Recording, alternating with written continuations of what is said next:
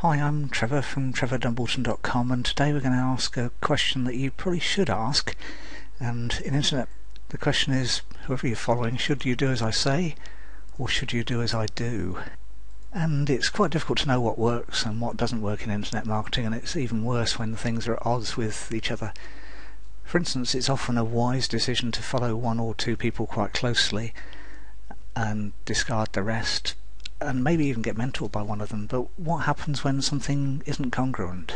And this happens probably more than any of us would care to mention.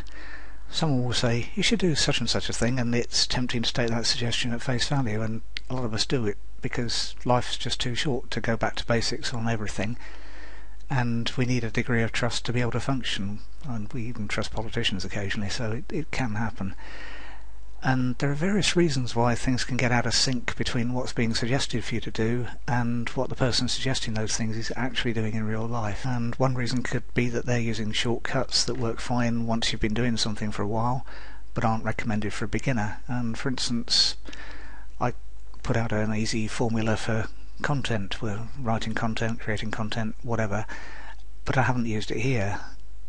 And that because I haven't used it here, it doesn't invalidate the formula I suggest of coming up with a headline and between three and five, three and ten topics to cover in the content below it, each with their own section or subheading. That works fine, works really, really well, and for a beginner it's absolutely fantastic because it almost writes the, the article or the content or the video for you. But I've created enough content to know that I can break that formula and still get results. Whether I'd get better results or not and whether this particular piece of content would actually be better if I did as I say rather than as I'm doing isn't something I'm going to worry about too much. I won't lose any sleep over it.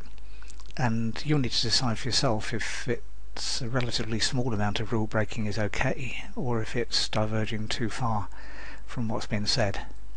And if the person you're following has a blog, you might be able to ask the question in the comments section of the relevant page if they've got comments switched on and if they actually pay any attention to them or you could submit a question usually via a contact form or just reply to one of their emails.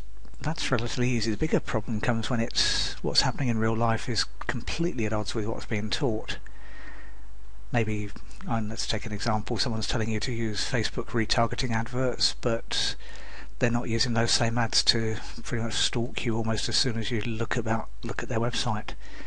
So you're thinking about it, well, they're telling me to use that, but they're not using it and then that calls into question whether or not you should be following what they're teaching at all. And it happens, as I said, a lot in internet marketing and actually in other areas. One of the markets I'm in is self-help, and I know of at least one self-help guru who preaches that everyone should be in a really high state of enlightenment and shouldn't let and they should let things go and you know pass them by and not sink to whatever it happens to be. But themselves, they cling on to power with a pretty much an iron grip. And once I work that out basically it follows that it's not someone I follow any longer even though what they teach is good and it works very effectively. So in that particular case I'll follow what they teach but not them. But going back to internet marketing things change incredibly fast.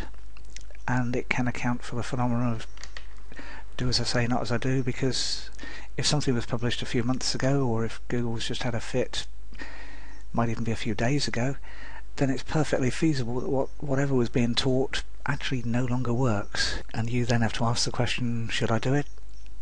Should I follow what they're saying? Should I follow what they're doing? And make your own mind up. And it's often best to follow what someone's doing, even if that conflicts with what they're teaching. And that holds especially if they've got several different levels of teaching. If they do sort of, let's use a school analogy, primary school, secondary school and college levels because whatever's publicly available is often only the tip of the iceberg in that respect. Or it could be that they're just in habit of regularly testing things to make sure that whatever they're teaching actually does still work rather than resting on their laurels. That's something I do and I've, quite a few other people I know do because, as I said, Google can pretty much throw the cards up in the air just to see where they land and you need to test to work out whether what you thought where you thought they were landing is where they still land.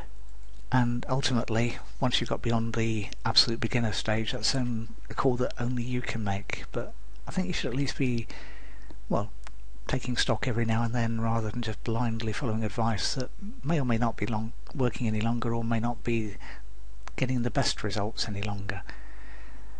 So, hopefully has been useful. If you'd like to know more, pop along to my blog, which is trevordumbleton.com, and there's lots, lots more information there. Thanks very much.